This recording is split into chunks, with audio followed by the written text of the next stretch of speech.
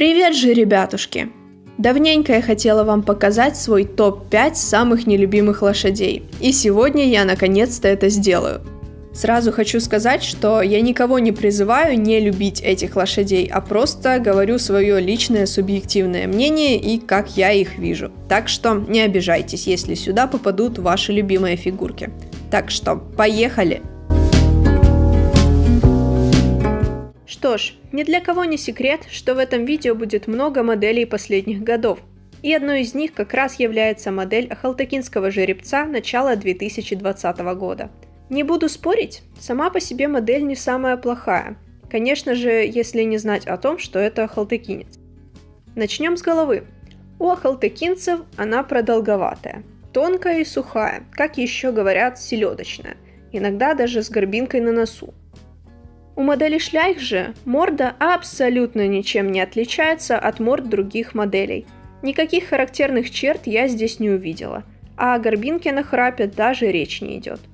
Поехали дальше. Шея. Ну, здесь шляхи посыпались по полной. Шея у текинцев длинная, S-образной формы, или, как еще говорят, оленья, с довольно длинным затылком. Ну а шея модельки опять же совершенно обычной формы, а для модели Квотерхорса шею и то слепили подлиннее. Третий косяк – грива. Халтыкинские лошади известны своей бедной растительностью. У большинства лошадей гривы не видно вообще. Именно эта особенность стала характерной чертой породы. Но у шляйх другое мнение. Они мало того, что сделали модели довольно густую гриву и хвост, так еще и Кучерявая, да. Зачем? Спросите лучше у скульпторов. Четвертая ошибка – это масть. У меня есть предположение, что референсом для модели стала вот эта известная фотография халтыкинской лошади. Ведь поза просто один в один.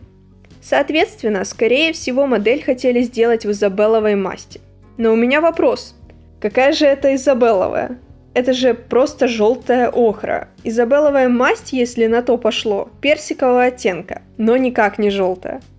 Возможно, кто-то скажет, что это поламина. Но где вы видели палевых поламина? Зачем тогда этот белый градиент? Что это за масть вообще?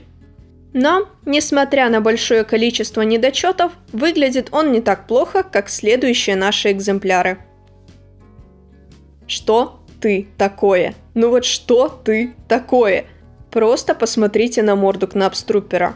Очень хорошо заметно, что носовая кость довольно узкая, и она постепенно сужается к концу. Но у модели же создается такое впечатление, что она наоборот расширяется. Из-за широкой носовой кости морда становится практически прямоугольной. Глаза. Шляйх последнее время поехал кукухой и начал делать всем лошадям раскосые глаза – и если в случае с ахалтыкинцем это смотрелось нормально, потому что у них и так глаза немного раскосые, то у кнапструпера Жени абсолютно обычной, округлой формы. Поехали по гриве. Серая грива у кнапструперов? Серьезно? У этой породы грива белесая, с естественной желтизной, иногда с вкраплениями черных волосков. Она может быть черной, но серой она точно никогда не бывает. Третья лошадь – это тракинянская кобыла – Форма черепа этой лошадки послала анатомию на три буквы. Вместо того, чтобы вписываться в треугольник, как все нормальные лошадиные бошки, ее голова имеет форму какого-то параллелепипеда, хотя такого даже в теории быть не может. Из-за этого голова кажется слишком длинной по отношению к телу. Также на носу есть неестественная розоватость. Она может быть только у светло-серых лошадей. У темно-серых же она может проявляться только в местах, где есть белая проточина. Но, как мы видим, нос полностью серый, а значит розоватости быть не должно. Нос в данном случае должен быть либо белесый, либо и вовсе темный, но никак не розовый. Шея. Шея в модели слишком длинная и шлангоподобная. Тракины не могут похвастаться своим лебединым станом. Их шеи не особо длинные и более мускулистые и широкие, чем у модели. Перейдем к масти.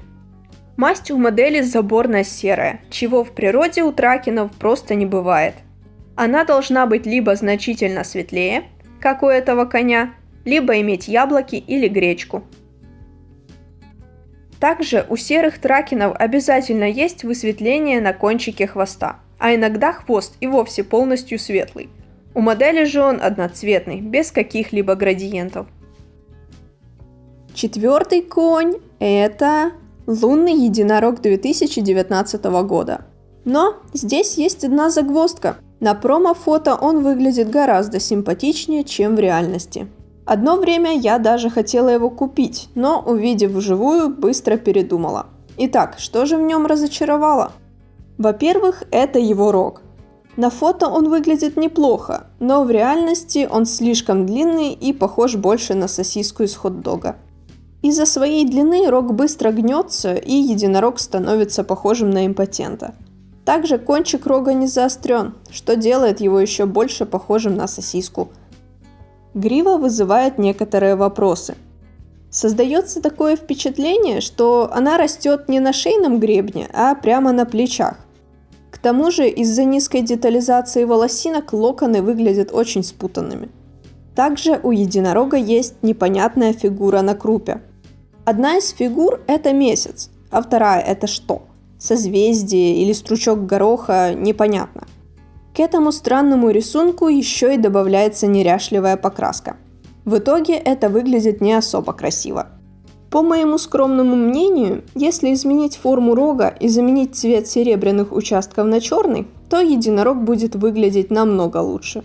А пока что он не вызывает особого желания иметь его в коллекции. И последняя лошадь на сегодня – американская верховая 2020 года. Начнем по традиции с морды. На фоне остальных моделей она абсолютно не выигрывает – у американской верховой все линии головы довольно геометричны и прямолинейны, чего не скажешь о модели. Почему-то автор скульптуры сотворил ей просто огромную нижнюю челюсть, да и к тому же неправильной формы. К тому же все линии головы у этих лошадей более покатые, нежели у модельки. И из-за этих ошибок морда Седлбреда совсем перестает узнаваться. Масть у фигурки почему-то точно такая же, как и у Ахалтекинца – и только черт догадается, это Изабелловая или Паламина.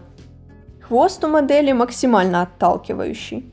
На репице он согнут в совершенно неестественной форме под 90 градусов, будто у основы его обмазали суперклеем и просто сломали. Вот такой у меня топ-5 самых неудачных лошадей. Буду очень рада, если вы напишите в комментарии, какие фигурки от шляйх вы считаете самыми непривлекательными и почему. Возможно, позже я сделаю видео с вашими ответами.